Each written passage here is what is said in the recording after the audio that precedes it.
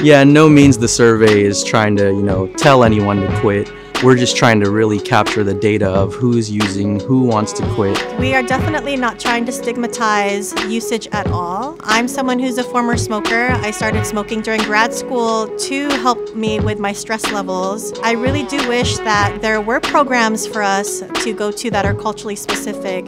The survey is important because it helps the state capture our real numbers, which leads to resources. The way that we collect data in large institutions, public health institutions. They typically do not include Pacific Islander populations. It lets us dive deep into what we actually need but it's definitely not a campaign to stop smoking. It's not a campaign to stop betel nut usage. We're actually just trying to count how many people do it and then help to inform health policies as to why people do it, how many people are doing it. And if you want to stop smoking, then that'll give us ideas about how to help you with cessation.